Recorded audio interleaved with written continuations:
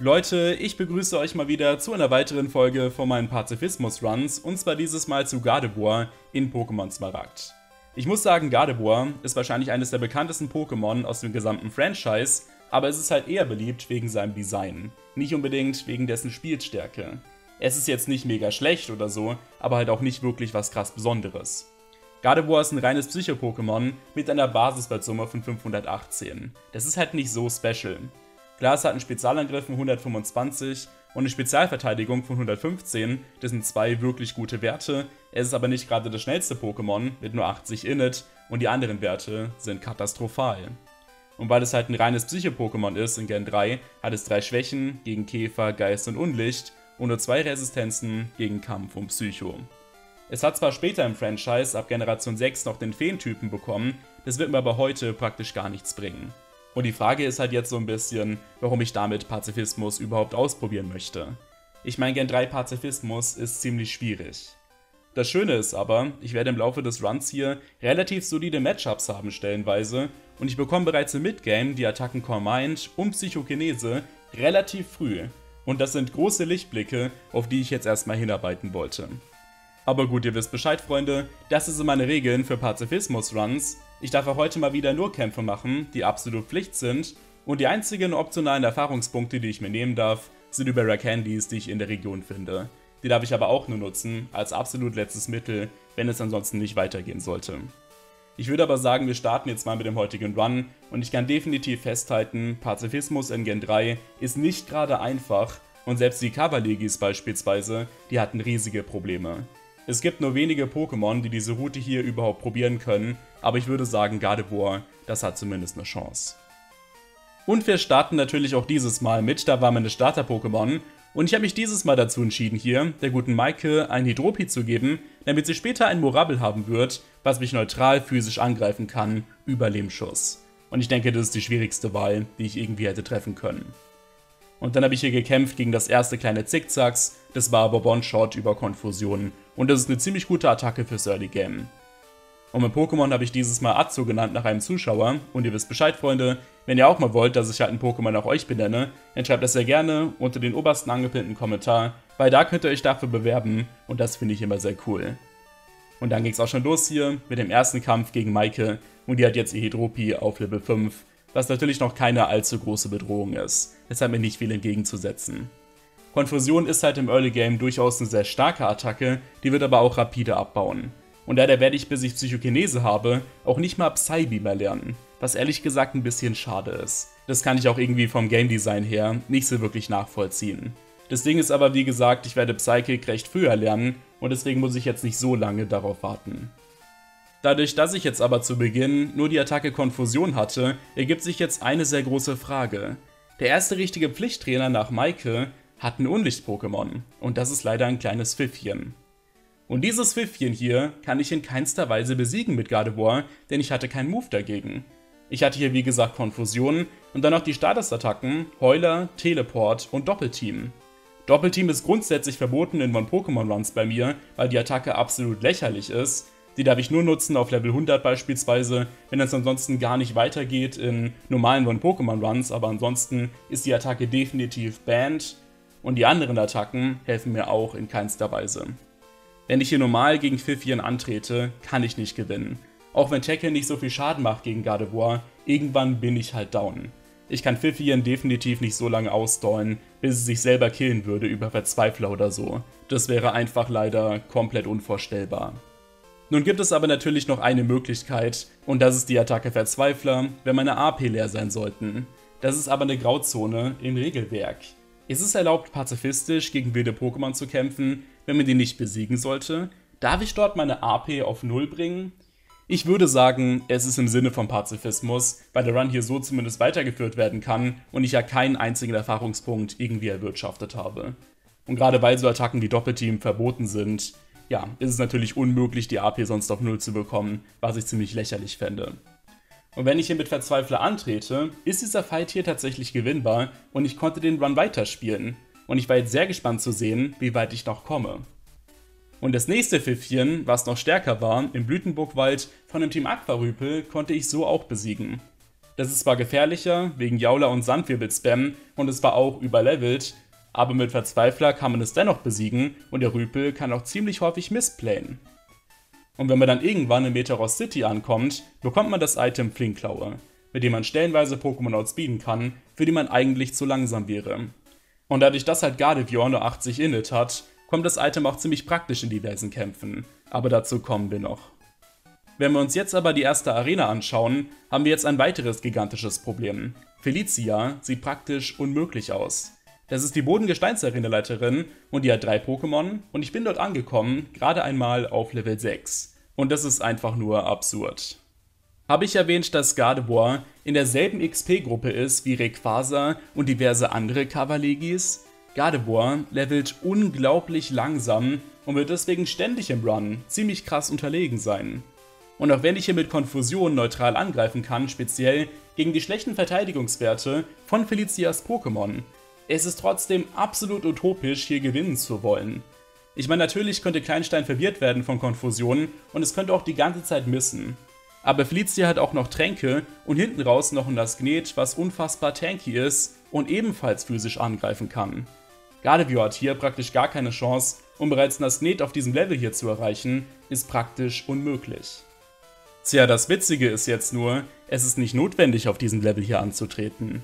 Es ist möglich, einen Trainer vom Metallflurtunnel vorzuziehen, den man später auf der Pazifismusroute sowieso machen müsste. Und wenn man das tut, was vollkommen erlaubt ist im Pazifismus, erreicht man Felicia auf Level 8. Und dann ist dieser Fight hier schon deutlich, deutlich möglicher. Versteht mich nicht falsch, es ist nach wie vor ein endlos langer Grind und eine fast unschaffbare Arena. Wenn man aber Glück hat und die Kleinsteins beispielsweise, die missen ein paar Mal, oder man crittet zum Beispiel oder verteilt eine Verwirrung, dann ist es schaffbar, jetzt wesentlich konstanter ab und zu mal das Gnet zu erreichen. Und das Gnet spielt hier erstaunlich schlecht. Das hat beispielsweise Block als Angriff oder auch Härtner und macht sogar manchmal Tackle ohne Sinn. Und auch das Pokémon kann mit Felsgrab durchaus missen. Der gesamte Fight hier ist plötzlich durchaus möglich, und Gardevoir kann sogar hier eine Sinebeere tragen, um sich einmalig 10 KP aufzufrischen. Was auch extrem entscheidend war am Ende, ansonsten hätte ich hier nicht siegen können, zumindest nicht in diesem Try. Es war wirklich nicht einfach hier den ersten Orden abzuschließen, aber nach etlichen Tries konnte ich den mitnehmen und damit den Run einfach so weiterführen. Also so früh wird Gardevoir scheinbar nicht untergehen. Und den nächsten kleinen Bossfight gegen Maike in Meteoros City, den darf ich gar nicht führen. Der ist nämlich optional, man kann einfach so Nein dazu sagen und dann kann man weitergehen Richtung Camillo. Camillo allerdings ist auch ein großes Fragezeichen, weil das ist jetzt der Kampf-Arenaleiter und dem sein Ace-Pokémon ist auf Level 19 und ich bin hier mit Gardevoir angekommen, gerade einmal auf Level 10. Es ist also ein bisschen bedenklich mal wieder. Naja, zumindest dachte ich das, aber in der Praxis bin ich halt im absoluten Typvorteil. Ich meine, Gardevoir resistiert Kampfattacken und greift selbst sehr effektiv an mit Konfusion. Und die Pokémon von Camillo, die können sich auch stellenweise in Protzer verrennen, was den physischen Angriff und die physische Verteidigung steigert. Das ist aber Gardevoir einfach komplett egal. Es ist ziemlich konstant möglich, hier mit vollen KP Mediti zu erreichen, und wenn ich dagegen Konfusion spamme, kann das nicht mehr angreifen. Das hat nämlich nur Power Punch als Schadensattacke, der jedes Mal abbricht, wenn ich Konfusion spamme. Und dann kommt irgendwann Makuita rein, was natürlich 7 Level über mir war nach wie vor, auch wenn ich im Fight hier ein bisschen leveln konnte. Aber dadurch, dass ich auch das resistiere und sehr effektiv angreifen kann, ist das besiegbar. Camillo ist gar kein so starker Gegner gewesen, obwohl er dermaßen überlevelt war. Der Typvorteil hat hier unfassbar krass gemettert. Und daraufhin kam dann eine unglaublich lustige Stelle in Graviport City. Man muss jetzt kämpfen gegen zwei Team Aquarüpel in einem Museum, und diese Fights sind nicht optional, man muss die machen. Und leider haben die jeweils ein Kanivanha und das ist halt ein Unlicht-Pokémon. Wie soll ich jetzt also antreten? Ich dachte zunächst mal, ich muss hier wieder mit Verzweifler durch, das wäre aber praktisch unmöglich geworden. Dann müsste ich drei Kills nur mit Verzweifler machen, das wäre wahrscheinlich zu schwierig für Gardevoir gewesen. Es ist aber möglich hier durch einen Rüpel von Team Aqua die TM für Raub zu bekommen vor dem Fight und Raub ist eine sehr schwache Unlichtattacke, die zumindest die Kanivanhas nicht sehr effektiv speziell angreifen kann, sogar mit dem guten Angriffswert von Gardevoir. Das heißt, ich habe hier eine Möglichkeit zumindest zu attackieren, Und dieser gesamte Fight hier gegen die Aquarüpel wird plötzlich möglich. Merkt ihr, wie auf magische Weise immer Gardevoir irgendwie durchkommt? Ich finde es mega unterhaltsam bei diesem Pazifismus-Run. Natürlich ist dieser Fight hier trotzdem gefährlich, weil ich halt sehr, sehr wenig Schaden mache über Raub. Und die Kanibanhas beispielsweise haben Rauhaut, weswegen ich immer wieder extra Damage kassiere.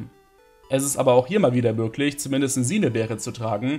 Und dann sind diese zwei Fights in a row gar nicht mal so schrecklich. Zumal die KI-Gegner auch sehr, sehr häufig missplayen werden. Das sind halt keine richtigen Bossgegner mit einer vernünftigen Boss-KI oder so. Normalerweise spielen die ja auch für meine Runs praktisch gar keine Rolle. Aber hey, Gardevoir ist zumindest hier auch durchgekommen und musste dieses Mal nicht einmal Verzweifler verwenden, was ich schon ziemlich unterhaltsam fand. Ja, und dann ging es weiter mit Maike über Graviport City und das ist jetzt der nächste Pflichtbosskampf. Und hier kann ich nichts in irgendeiner Weise vorziehen, ich muss jetzt hier gewinnen, ansonsten geht es nicht weiter. Und ich muss schon sagen, dieser Kampf hier, der sieht mal wieder ziemlich schlimm aus. Ich meine, Maike ist eigentlich nicht die stärkste Trainerin, aber ich habe halt nach wie vor kein richtiges Moveset.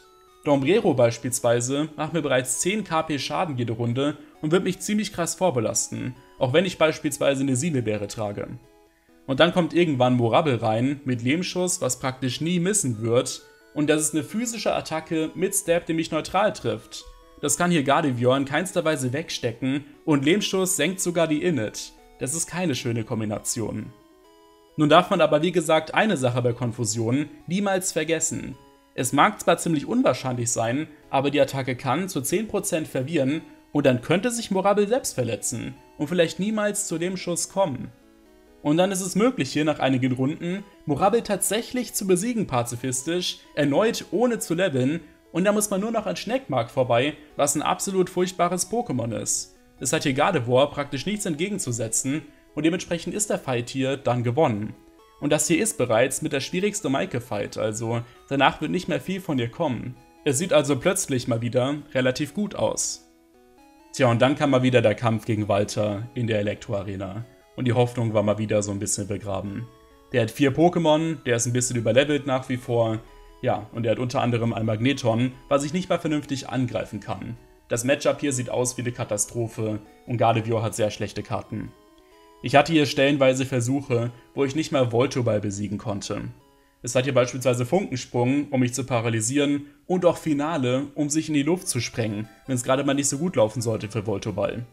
Und Finale halbiert sogar meine Verteidigungswerte in Gen 3, das heißt Gardevoir ist gerne mal praktisch One-Shot dagegen. Und da habe ich noch nicht mal ansatzweise die guten Pokémon von Walter erreicht. Diesen Kampf hier konnte ich an der Stelle noch nicht mal richtig probieren. Aber dann ist etwas passiert, was ich niemals kommen gesehen hätte. Ich konnte noch ein paar Kämpfe vorziehen, rechts von Malvenfroh, die man später in der Story sowieso machen muss, also dort habe ich noch ein weiteres Level-Up bekommen. Und dann hatte ich hier einen Götterversuch, wo ich Voltoball einfach so gewone-shottet habe über einen Crit, Fritzeblitz konnte ich two-shotten und dann hatte ich plötzlich hier sogar eine Chance gegen Magneton. Es macht nämlich immer Donnerwelle und über Synchro kann ich halt die Donnerwelle an Magneton wieder rübergeben und mit einer Arena-Beere mir selbst die Donnerwelle wieder heilen, also bin ich selbst nicht mehr paralysiert, aber der Gegner schon. Und dann kämpfe ich hier gegen ein stark verlangsamtes Magneton, was manchmal nicht erfolgreich angreift, mit Konfusion. Ich mache natürlich hier immer noch keinen Schaden, also es sieht nicht gerade gut für Gardevoir aus, aber ich kann zumindest kämpfen. Und ich hatte hier einen dermaßen absurden Versuch, dass Magneton praktisch nie wieder zum Angreifen kam. Ich habe das hier einfach besiegen können. Die Chance dazu liegt bei 1 zu 1000 oder so, ich will es gar nicht ausrechnen, es war absolut lächerlich. Aber wenn man Pokémon halt so viel spielt wie ich, dann können solche Fights hier auch gerne mal im Livestream passieren. Das hier hat sich tatsächlich live ereignet. Tja, und was bringt mir das Ganze? Natürlich überhaupt gar nichts. Danach kommt Voltense auf Level 24 und zerstört Gardevoir komplett. Das ist praktisch unbesiegbar, es ist ein weiteres gigantisches Monster auf Level 24 und trägt sogar eine Citrobeere und da war die Hoffnung dann wirklich zu Ende. Gardevoir kann dagegen praktisch nichts tun und mit diesem Moveset hier geht es einfach nicht weiter. Aber ganz ehrlich Leute, wer sagt denn, dass ich dieses Moveset behalten muss? Habe ich erwähnt, dass es in der Spielhalle Psychokinese zum Kaufen gibt? Wie gesagt, ich bekomme Psychic im Midgame. Das muss ich aber nicht zwangsläufig über den Level-Up-Move erreichen. Ich kann es auch einfach so kaufen. Es ist möglich in der Spielhalle bereits im Early Game endlos viel Geld zu grinden, auch pazifistisch, ohne weitere Kämpfe zu machen. Und plötzlich habe ich hier eine Psycho-Attacke, die sehr, sehr viel mächtiger ist als Konfusion. Und ja, die Attacke kann zwar nicht verwirren, die kann aber stellenweise die Spezialverteidigung von den gegnerischen Pokémon ein wenig senken. Und da machen die nächsten paar Psychic-Attacken halt ein bisschen mehr Schaden. Und plötzlich war dieser Fight hier durchaus gewinnbar pazifistisch, ohne zu leveln. Es klingt absurd, aber Walter ist plötzlich schaffbar. Es ist natürlich immer noch mega schwierig hier vorbeizukommen und man braucht am besten Crits oder ganz ganz viele Senkungen über Psychic. Aber wenn das alles hinhauen sollte, dann kann der Bulk von Gardevoir ausreichen und der solide spezielle Schaden, um den Fight hier zu gewinnen. Und dadurch, dass halt Gardevoir eine dermaßen gute Spezialverteidigung hat, kann es sogar stellenweise ein paar Elektroattacken schlucken, ohne sofort down zu gehen. Und das ist ein riesiger Vorteil, den ich mir hier sehr zunutze machen konnte. Ich habe den Orden geschafft. Direkt danach musste ich dann aber gegen Mark antreten von Team Magma und der hat jetzt wieder mal ein Undicht-Pokémon. Und zwar ein Magnein auf Level 24. Dagegen wiederum hatte ich jetzt aber auch ein paar Outs. Beispielsweise bekommt man durch Walter die TM für Schockwelle. Und das ist eine Elektroattacke, die hier neutral treffen kann. Auch das Magnein. Und ich hatte sogar mittlerweile die Attacke Call Mind, mit der ich meinen Spezialangriff und meine Spezialverteidigung um jeweils eine Stufe steigern kann. Ich werde aber Booster-Attacken auch heute mal wieder nur verwenden, wenn sie notwendig sind. Und hier ist es tatsächlich nicht notwendig. Denn ja, Schockwelle macht hier nicht so viel Schaden. Ich habe aber noch eine andere Möglichkeit. Und das ist Donnerblitz. Wie gesagt, Leute, ich habe Zugang zur Spielhalle und da kann man nicht nur Psychic kaufen. Donnerblitz ist dort auch erhältlich und das ist eine etwas bessere Elektroattacke, die Magnein ernsthaft Schaden machen konnte. Das Blöde ist halt nur, Magnein macht hier stellenweise Sandwirbel und Schockwelle hatte konstant getroffen, während Donnerblitz halt von reinem RNG belastet ist. Und dementsprechend habe ich hier nach wie vor einige Male verloren. Und das Bittere ist halt, der Kampf ist nach Magnein nicht zu Ende. Klar, Zubat ist vollkommen egal, aber es kommt auch noch ein Kamerupch, was ich eigentlich nicht one-shotten kann, und das hat Intensität. Es ist also am besten, wenn ich dort critte, und das ist nicht so wahrscheinlich. Nach einigen Versuchen hat es aber geklappt. Und damit kommen wir jetzt zur Feuerarena von Flavia in Bad Laberstadt. Eine Trainerin, die die ganze Zeit Hitzekoller spammt. Und ich war jetzt sehr gespannt zu sehen, ob ich die auch besiegen kann, ohne Gedankengut zu verwenden. Weil natürlich wäre dieser Move hier äußerst praktisch, um Feuerattacken besser zu überleben. Der Anfang hier sah eigentlich ziemlich leicht aus. Kamaup und Schneckmar kann ich einfach so one-shotten und Kamerupt war Range 2-Shot über zweimal Psychic und es kann stellenweise missplayen über Sonnentag, beziehungsweise damit halt eine Runde wasten. Danach kommt aber auch noch Kurtel und das hält eine ganze Menge aus, das ist wieder ein bisschen überlevelt und mit Hitzekoller kann es mich in der Sonne fast one-shotten. Und mit Body Slam kann es mich sogar stellenweise paralysieren. Das Matchup hier ist also doch nicht so einfach. Nichts davon gibt mir aber einen Grund an der Stelle, jetzt unbedingt auf Gedankengut zu gehen. Es ist nicht unbedingt notwendig. Ich meine, Kamerot beispielsweise kann wie gesagt über Sonntag eine Runde verschwenden oder es könnte auch Hitzekeule einfach so missen. Kurtel zu erreichen, ohne Schaden zu haben, ist nicht mega schwierig. Und dann braucht man halt einfach ein bisschen Glück. Man könnte zum Beispiel hier viele Decreases bekommen über Psychic, Kurtel könnte Hitzekoller missen, ja, oder man könnte auch eine Paralyse rauskriegen über Donnerblitz, während man versucht, Kurtel an der Heal Range vorbeizubewegen. Und das ist mir hier passiert. Am Ende habe ich ja einfach so gewonnen, sogar ohne Schaden zu nehmen, weil es in der Full-Para verendet ist. Das war schon ziemlich lucky. Ein weiterer Punkt, wo aber viele Pazifismus-Runs scheitern, ist der Kampf gegen Norman in der Normalarena. Weil der hat ein weiteres richtig gutes Team und er besitzt beispielsweise ein Leta King auf Level 31, was eine sehr große Wand darstellt. Ich meine, seine ersten paar Pokémon, die sind noch ganz okay. Pandir kann nerven über Taumeltanz, keine Frage, es gibt aber gefährlicheres und über Psyche kann ich hier Pandi und Muntier soliden Schaden machen, während ich selber sogar ein bisschen was tanken konnte. Danach kommt dann aber Leta King und das Ding outspeedet hier Gardevoir und one-shottet mich praktisch mit egal welchem Move. Das Teil sah erstmal ziemlich hart unbesiegbar aus. Und danach kommt auch noch ein Geradax. Ich mache es an der Stelle kurz und schmerzlos. Der gesamte Fight hier ist echt schwer. Und die einzige Möglichkeit zu gewinnen, ist auf plus 2 zu gehen über Call Mind. Das ist hier nicht mehr abwendbar. Man braucht den Move. Und dann muss man hier Leta King outspeeden zu 20% über die Flinkklaue und One-Shotten über einen Crit zu 6%. Wenn das nicht alles in einem Fight passiert, ist der Kampf nicht schaffbar. Und dann braucht man auch noch genug KP am besten, um den weiteren Move noch von Geradax zu überleben, was einen zu 30% manchmal flinchen lässt über Kopfnuss und das muss man dann auch noch one-shotten auf plus 2, sollte das aber funktionieren. Und dazu kommt dann auch noch der Taumeltanz von Pandir, der immer wieder gespammt wird, weil man kann ja keine Persenbeere tragen, wenn man die Flinkklaue braucht. Der Fight hier ist also ein riesiges RNG-Fest und ich musste eine Ewigkeit darauf grinden, Leta King zu one-shotten. Es ist mega frustrierend. Und dann auch stellenweise an Geradax zu scheitern, macht es wirklich nicht besser. Aber was soll's, ich hatte den fünften Orden jetzt auch geschafft und jetzt kam zunächst mal eine recht simple Phase. Beispielsweise mit einem Kampf gegen Maike beim Klimainstitut, die mir natürlich nichts entgegensetzen konnte, und dann kam Wipke in der Flugarena. Wipke ist jetzt wieder relativ spannend, das ist keine schwache Trainerin. Ich bin allerdings so ein bisschen im Typvorteil, weil ich habe natürlich Donnerblitz und ich kann die Attacke auch theoretisch pushen, ebenfalls wieder über Call Mind, wenn ich das möchte. Der Anfang sieht ja aber eigentlich ganz gut aus. Waplu ist sofort One-Shot über Donnerblitz, es hat mir nichts entgegenzusetzen. Tobius ist Two-Shot über Psychic. Man kann nur beispielsweise Aerial Ace machen für ein bisschen Damage. Es ist halt kein starkes Pokémon. Und da kommt Pelipper mit einer fetten mal 4 Schwäche. Also die ersten drei Kills, die sind simpel. Danach kommt aber dann Panzer Aeron und das ist leider nicht One-Shot über Donnerblitz, auch wenn es keine so gute Spat-Staff hat. Und deswegen kann das Teil mich entweder krass vorschwächen über Stahlflügel oder meine Genauigkeit einschränken mit Sandwirbel, was beides ziemlich bedenklich enden kann. Weil nach Panzer Aeron, was dann auch ein bisschen rumspammen wird mit Tränken, das ist aber nicht so relevant, kommt noch Altaria. Und Altaria hat hier leider Dragon Dance und Erdbeben. Und da braucht man dann wirklich sehr viel Glück, um das zu besiegen, an der Heal Range vorbei, beziehungsweise bevor es zu stark wird und zu schnell über Dragon Dance. Das Beste, was hier passieren kann, ist ein Spats Death Drop über Psychic und halt Crits etc. Wenn sich sowas ereignet, dann kann man Wipke stellenweise besiegen, ohne Boost zu verwenden über Call Mind. Es ist aber leider nicht so einfach. Ich habe es aber trotzdem durchgezogen hier, um den Win so zu zeigen. Finde ich nämlich unterhaltsamer, als wenn man beispielsweise bei Waplu oder Tropius einfach so auf plus 3 geht und alles one-shottet. Weil das wäre in meinen Augen dann doch relativ lachhaft gewesen. Ich mag es, wenn man diese Boost-Attacken jetzt nicht immer spammt in jedem Fight. Und da der letzte Maike-Fight vor dem Einkaufszentrum optional ist, gibt es jetzt nur noch einen weiteren Bosskampf vor Ben und Svenja. Und das ist der nächste Kampf gegen Mark. Der ist aber hier recht simpel gewesen. Gegen Magnein hatte ich nach wie vor Donnerblitz und auch gegen seinen X-Part und Kamerot musste ich am besten wieder wegcritten über Psychic. Eigentlich nichts mega Besonderes.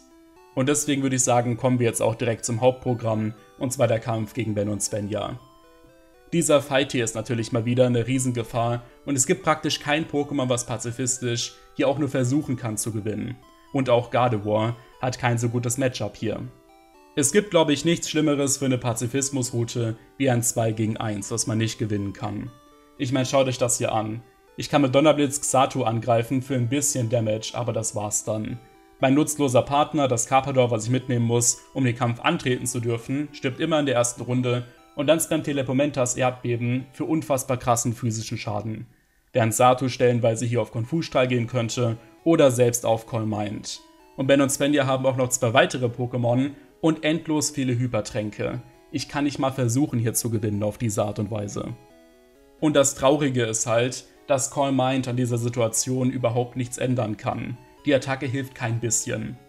Ich meine, ja, ich kann auf plus 1 gehen und dann Psychics besser überleben, aber Erdbeben macht nach wie vor extrem viel Damage. Und selbst wenn ich Sato hier mit Glück one-shotte mit Range oder so, kommen immer noch zwei weitere Pokémon und allein schon Lepomentas kann ich ja gar nicht angreifen. Ich habe praktisch keinen vernünftigen Move gegen das Ding, außer Raub mit einer Basisstärke von 40.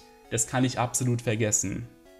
Nachdem ich dann aber eine Ewigkeit hier gestruggelt hatte, kam eine geniale Idee aus dem Livestream-Chat von einem Zuschauer. Was ist mit der Attacke Wertewechsel? Und dieser Vorschlag war absolut genial. Der hat den Run hier praktisch gerettet im Alleingang. Wertewechsel ist eine Attacke, die man als TM finden kann, einmal im Run, pazifistisch, und das ist hier schon möglich. Und damit kann ich die Schwebe von Lepomentas klauen, also dessen Fähigkeit. Und plötzlich bin ich immun gegen Erdbeben, aber was bringt das genau? Naja, ich kann nicht mehr verletzt werden. Die Psychics von Xato und Lepomentas sind mir vollkommen egal, vor allem wenn ich selber schon Gedankengut eingesetzt habe. Die machen einfach keinen Schaden mehr.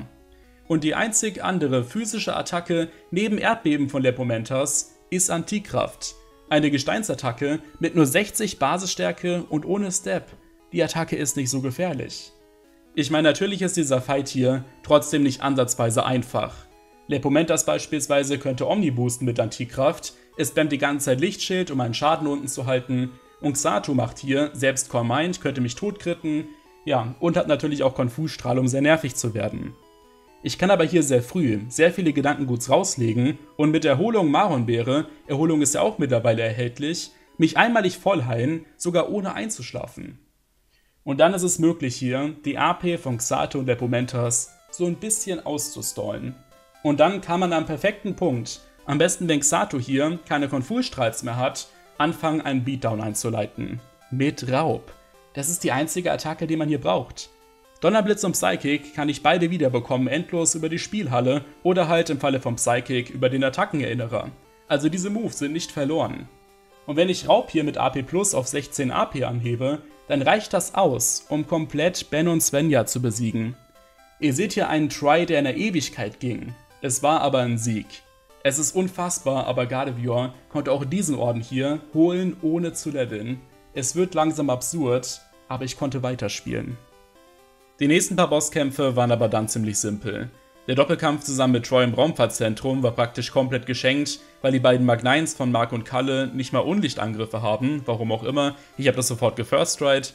Und dann kam Adrian in der Unterwasserhöhle und das ist gar kein richtiger Bossgegner. Der hat nur drei Pokémon, sein Tohaido konnte ich sogar sehr effektiv hier angreifen. Ja, und er hat sogar nur Supertränke, warum auch immer. Wo es aber dann wieder spannender wird, ist in der Wasserarena von Juan weil das ist jetzt nochmal ein richtiger Arenaleiter und er hat 5 Pokémon, von denen fast alle voll entwickelt sind. Und ja, ich kann zwar sehr effektiv angreifen mit Donnerblitz, das gilt aber leider nicht für sein gesamtes Team. Die ersten beiden Pokémon hier, die waren aber gar kein Problem. Ich konnte Libiskus und Krebutak einfach so outspeeden mit Donnerblitz und einfach so one-shotten. Wo es aber problematisch wurde, war bei Welser. Weil das Ding ist immun gegen Donnerblitz und es hat Amnesie.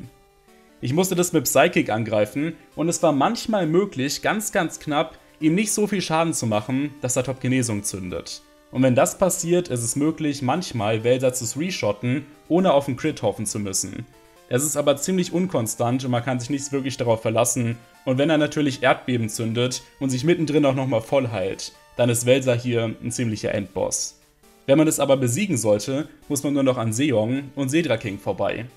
Bei Seong kann man dann Erholung zünden in Kombination mit Maronbeere, um sich wieder voll zu heilen. Und dann kann man hier auf einem sehr gesunden KP-Wert gegen Sedra King kämpfen.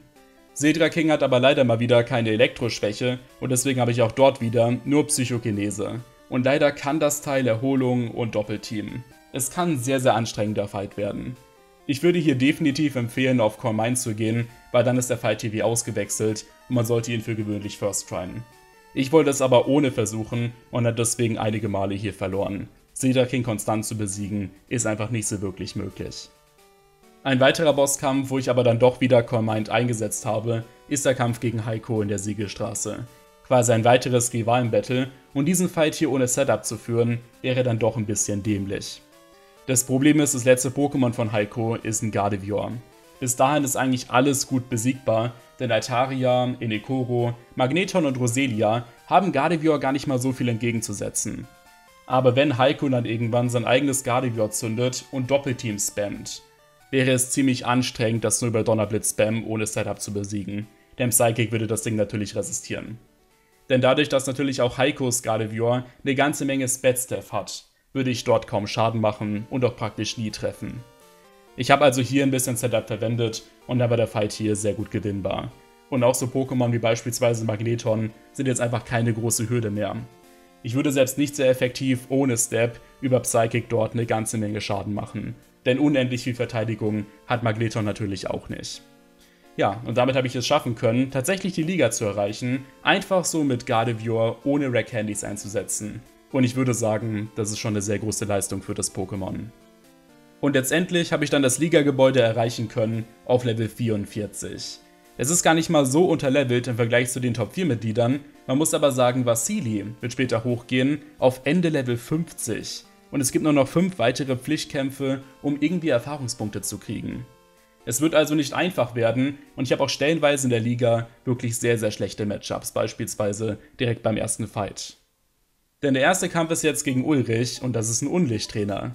Und er leadet jetzt beispielsweise mit einem Magnein auf Level 46 mit Knirscher. Natürlich kann ich da wieder mit Donnerblitz angreifen und ich mache auch halbwegs Schaden. Mir war aber klar, dass ich ohne Setup hier sehr, sehr wenig erreichen werde und leider spammt auch Magnein einfach so Sandwirbel, um meine Genauigkeit immer weiter zu senken. Und Ulrich hat auch noch zwei Pflanzenundicht-Pokémon, die sogar Donnerblitz resistieren würden. Also das Ganze hier ist mal wieder ein ziemlich schwieriger Fight für Gardevoir, einfach dem Matchup geschuldet. Das ist natürlich ein bisschen unfair. Mir ist aber dann ein sehr cooler Einfall gekommen, und zwar die Attacke Schockwelle. Ich wollte die ja schon mal verwenden, kurz nach Walter, beim ersten Kampf gegen Mark, hatte mich aber dann für Donnerblitz entschieden. Und das kommt mir jetzt zugute. Schockwelle kann man als DM halt nur einmal haben und damit trifft man safe. Und natürlich habe ich keinen Step darauf oder so und die Pflanzen-Unlicht-Pokémon von Ulrich, die können das auch nach wie vor resistieren. Wenn ich aber auf plus 6 sein sollte und immer treffe, ist mein Schaden trotzdem bedrohlich für Ulrich. Und das Erstaunliche ist, Ulrich hat gar nicht so viele Unlichtattacken in seinem Team. Klar, sein Magnein hat Knirscher, aber viel mehr hat er auch nicht. Notuska kann ein bisschen mit Unlicht angreifen, ist aber auch nicht so stark. Und alle Unlichtattacken sind auch speziell, also wegen Gedankengut, machen die nicht so viel Damage. Ich konnte also gegen Ulrich hier über Schockwelle ziemlich gut gewinnen und ich wusste nach dem Fight hier, kann ich einfach wieder Donnerblitz mit reinnehmen, weil die TM kriege ich ja endlos in der Spielhalle. Ich kann es also einfach so wieder überschreiben, ohne die Attacke irgendwie zu verlieren oder so, für den Rest der Liga beispielsweise. Und danach hatte ich dann einen sehr, sehr stumpfen Fight gegen Antonia. Weil das ist jetzt die Geisttrainerin und wenn die mich angreifen sollte über Spukball beispielsweise mit einem ihrer Pokémon, dann bin ich praktisch One-Shot. Geistattacken sind hier physisch in der Generation und ich habe natürlich auch noch Schwäche. Das ist ein katastrophales Matchup. Wenn ich aber Call Mind hier spamme beim ersten Zwirklop, was ich stellenweise in Schutzschild-Spam verrennen kann, da kann ich ja anfangen, alles kurz und klein zu sweepen und zu one-shotten über Psychic. Und für Zubiris habe ich natürlich dann Donnerblitz, um halt zumindest neutral anzugreifen. Dieses gesamte Matchup hier ist eigentlich nicht so schrecklich, das Blöde ist nur, das erste Zwirklop wird hier, die ganze Zeit, wenn ich setupen möchte, immer wieder Fluch rauslegen und dann ist der Try sofort beendet. Also muss man halt ein bisschen beten, damit das Setup hier rausgeht, wenn es aber klappen sollte, ist der Fight gewonnen. Also auch die physische Geisttrainerin konnte Gardevoir in der Liga nicht aufhalten. Ich musste also wieder nicht leveln. Spätestens beim nächsten Fight musste ich dann aber einsehen, dass ich hier ohne Call Mind einfach gar nichts mehr reißen werde.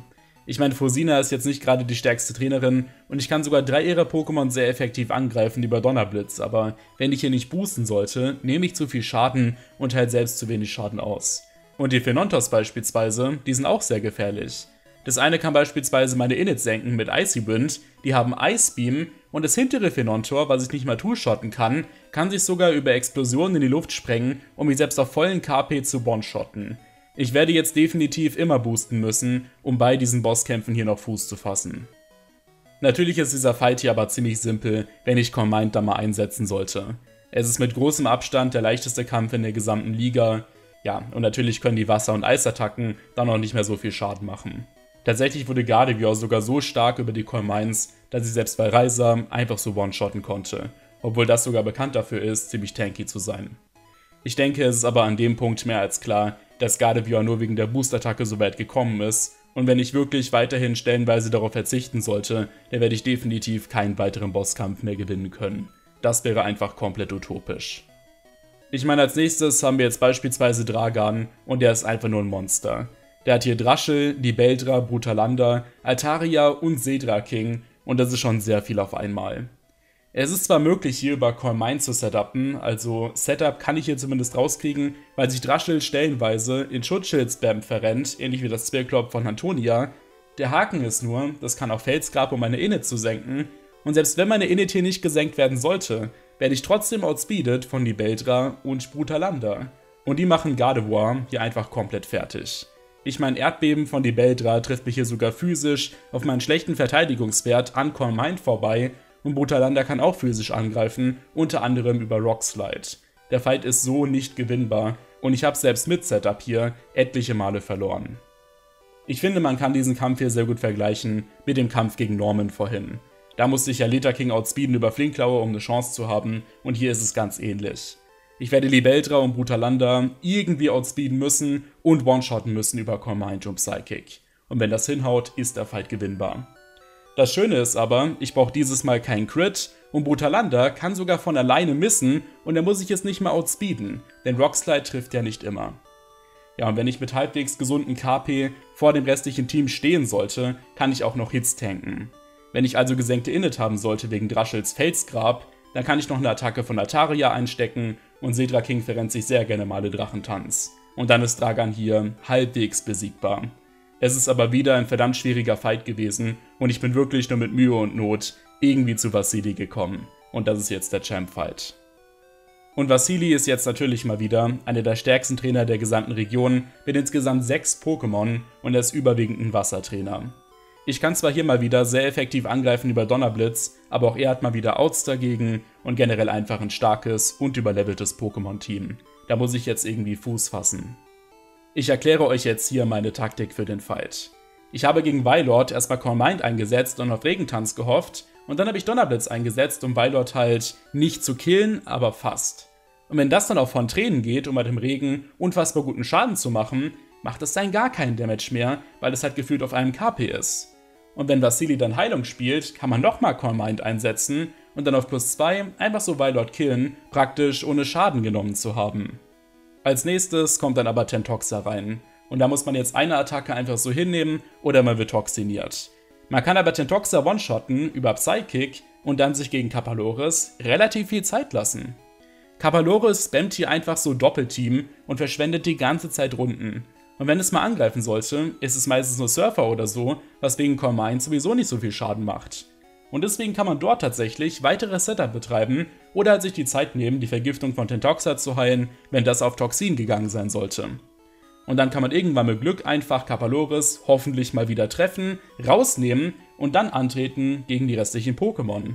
Ich meine, Welser wird dann logischerweise nicht mehr so viel tun können, Garados hat nochmal 4 Schwäche und selbst Melotik kann nicht mehr so viel machen, wenn man dermaßen viele Boost-Intos hat auf der speziellen Seite. Ich muss echt sagen, der Fight gegen Vasili war letztlich einfacher als der gegen Dragan. Und die gesamte Liga war gar nicht mal so schrecklich. Gardevoir hat einfach die gesamte Höhenregion durchgespielt, ohne ein einzelnes Rakandy einzusetzen und das pazifistisch. Der Run wäre zwar zigmal fast gescheitert, aber er war dann doch irgendwie möglich. Und das muss ich sagen, habe ich echt nicht kommen sehen. Ihr wisst ja, Pazifismus-Runs in Gen 3 lade ich jetzt nicht jeden Tag hoch. Es gibt ein paar Pokémon, die das hinbekommen können, beispielsweise die Cavalegis oder so, aber selbst die haben massive Probleme. Und dass Gardevoir das einfach trotzdem irgendwie hinbekommen hat, war für mich eine riesen Überraschung. Es hatte halt einfach wegen Cormind, Donnerblitz und Psychic bereits im Midgame dermaßen viel zu bieten, dass es immer irgendwie weiterkam. Und Ben und Svenja gingen halt wegen Wertewechsel und Raub.